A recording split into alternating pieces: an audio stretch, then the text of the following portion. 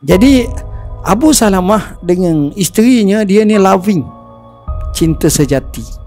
Payah orang nak cari cinta macam ni ni. Cinta yang abadi. Laki bini ni kuat sama-sama ni. Bini pun comel, anak pun ada, baik. Dan mereka patuh pada Islam. Masuk Islam. Dua-dua ni bila tahu saja orang Quraisy mereka nak hijrah mereka pergi halang. Sekak! Tak boleh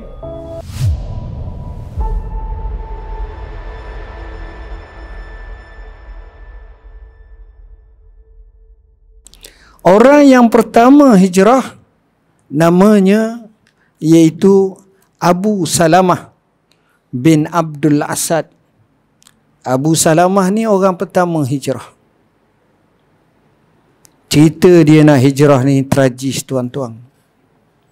Tragis. Macam mana caranya? Terima kasih Nazih. Apa nama ni? Macam mana caranya bila dia nak hijrah?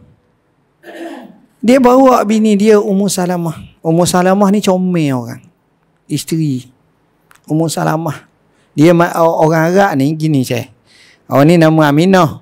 Orang ni nama Ahmad. Bila dia menikah dua, dia dapat anak, maka abah tu kalau anak dia nama Ali, Abu Ali. Mak tu Ummu Ali. Ha, dia akan panggil macam tu. Dia panggil hak anak pertama lah, anak sulung. Macam Nabi, dia panggil apa? Abul Qasim. Aba Al-Qasim. Sebab anak laki Nabi, hak tua namanya Qasim. Walaupun mati muda, mati kecil. Jadi, Abu Salamah dengan isterinya, dia ni loving cinta sejati.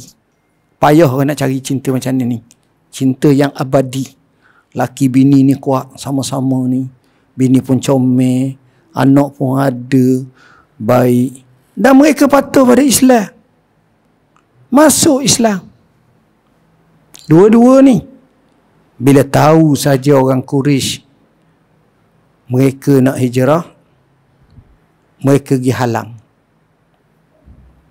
Sekak. Tak boleh. Kata macam mana pula nak pergi. Akhirnya, ginilah. Kalau mu wahai Abah Salamah nak hijrah, mu pergi seorang. Kami punya keluarga belah Ummu Salamah ni tak bagi. Anak kami, anak saudara kami ni, keluarga kami ni, Ummu Salamah tak boleh ikut.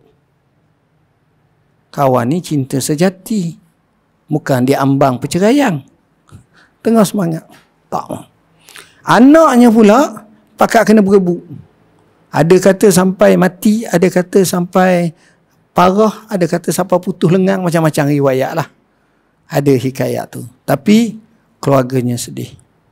Terpaksalah Abu Salamah, orang yang pertama hijrah, dia hijrah ke Madinah. Dia duduk dekat dengan Kubak. Dekat dengan satu kabilah. Kabilah Bani Auf. Adalah dia duduk situ. Berapa lama berpisah laki bini. Zaman dulu handset tak ada. WhatsApp tak ada. Semua tak ada. Umur Salamah ni, sayangnya kat suami ni, setiap petang, dia akan pergi sampai ke Batha ataupun Abtah. Dia duduk. Majlis Pak Batu lah duduk. Tengok. Tak kenung. Tengok ke Madinah. Kok-kok adalah suami dia batah balik ataupun macam mana. Tapi suami tak boleh balik dah. Balik bunuh lah. Tak boleh dah. Ha, bila buat macam tu berapa lama? Setahun. Hampir setahun. Tiap petang akan pergi tunggu suami. Tengok ke Madinah. Jaraknya 480 km. Dekat 500 meter. Jauh. Akhirnya dah bila keluarga duk tengok-tengok ni sampai setahun. Bila sampai setahun, kawan ni pun rasa tak jadi macam ni.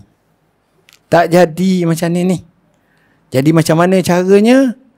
Kena itulah. Kena beri panggil kepada Ummu Salamah. Wahai Ummu Salamah, tak apalah. Kamu sayang sangat ke lakimu sayang sangat kat suamimu, pergilah kamu, kami bebaslah mu. Kami tahu apa-apa. Masalahnya suruh pergi atau tak. Mana ada rasa isteri kita sanggup tak daripada sini pergi jalan sampai ke JB tu.